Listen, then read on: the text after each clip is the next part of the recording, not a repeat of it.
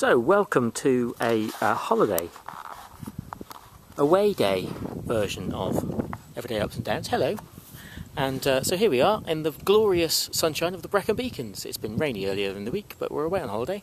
And today I thought I would try uh, and see how SmartGuard got on with a mountain. Uh, in fact, that mountain, which is uh, and Pen y Fan, the highest mountains in the Brecon Beacons. So, uh, so let's have a look. So this is our plan. We're going to come down here on the 470 uh, to the Storey Arms Centre here. And then we're going to go up the Storey Arms path, up here, to, uh, to Corn Du. And then if we've got enough energy, we might go over to Pen y Fan. Those are the two highest in the Brecon Beacons. And then from there, we'll come back down here and, and then finish up. So it's about um, it's about 500 meter climb.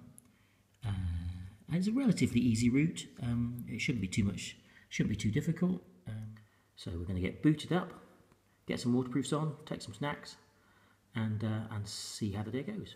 So my day didn't start uh, perfectly. I uh, had a fairly active morning, and uh, uh, I uh, reduced my basal down with the temporary basal rate. And by the time I got to lunchtime, I was kind of running about nine or ten ish. Um, so I had some lunch, um, and I knew knew we were going for this walk in the afternoon. Um, normally, if I do a lot of activity in the afternoon, what, I, what I'll do is I'll reduce my my my lunch dose um, to compensate. But I didn't really want to do that because I was running quite high. And by the time we got um, into the car park uh, to start the walk, actually I was I was sort of 11, 12 ish. Um, so I set a slight temporary rate just to because I knew the activity with the insulin on board would have an effect. But um, uh, yeah, it was it was difficult really. I didn't quite know how it was going to work out. Um, uh, so let's see what went on.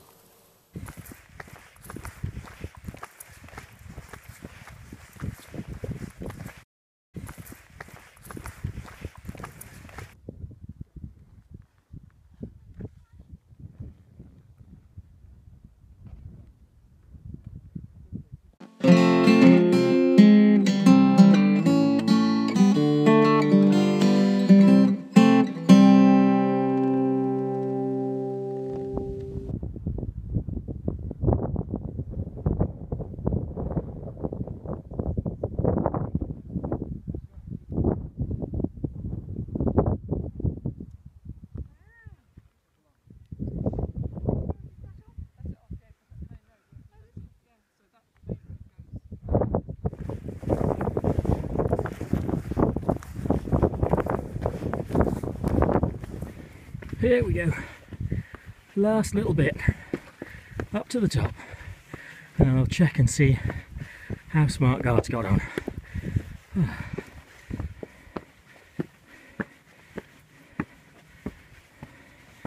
It's a, it's a, it's quite a view, you have to say. It's worth climbing.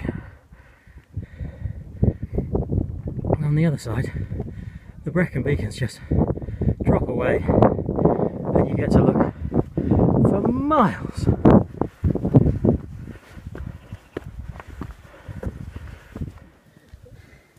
There we go. A little bit of SmartGuard, 4.8 after a very steep drop, which uh, you have to say is quite appropriate.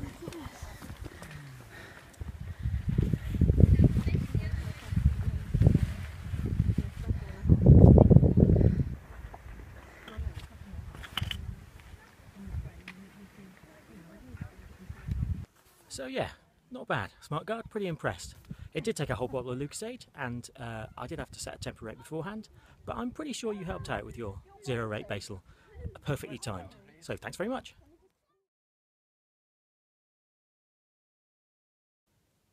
So now we're back at the barn. I just wanted to do a little quick recap on uh, on what happened earlier on. So let's just have a look at uh, have a look at this afternoon's excitement um, so if we go to if we go to the six hour graph, you can see my morning wasn't ideal.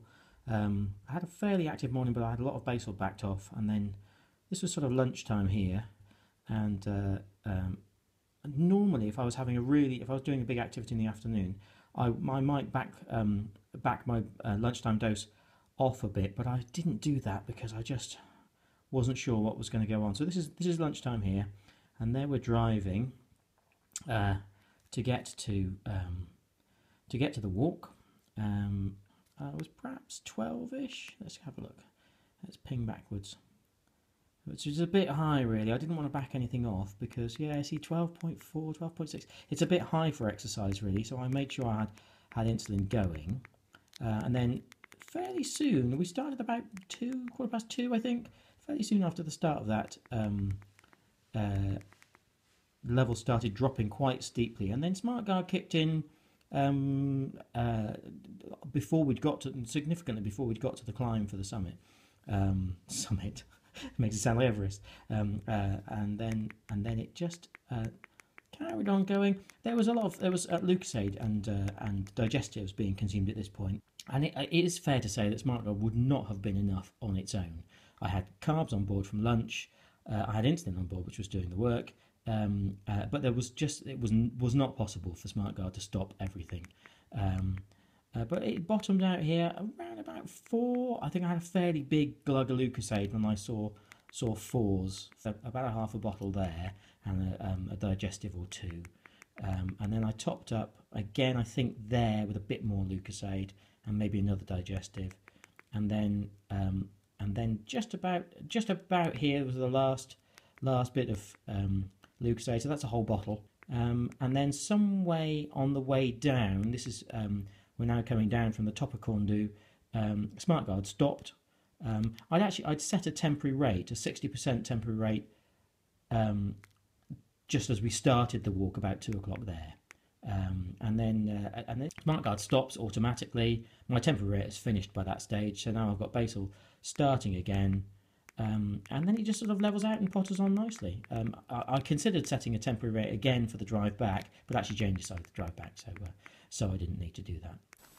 So yeah, so that was it really. Um, SmartGuard couldn't have coped on its own, but uh, it was very handy to have a little bit of help with uh, with those levels, um, and it was brilliant to have the trace to look at uh, as I was uh, coming down from my uh, high start, um, so that uh, I could just keep an eye on things and stick some Lucozade in um, in time, and SmartGuard also kicking in, stopping the basal uh, in time and then starting it again to level it off at the end. So it was nice to have a, um, a little bit of a helping hand. Um, SmartGuard couldn't have done it on its own, but it just added a bit of finesse to my, uh, to my efforts at uh, controlling things. Thanks for watching. I'll see you again.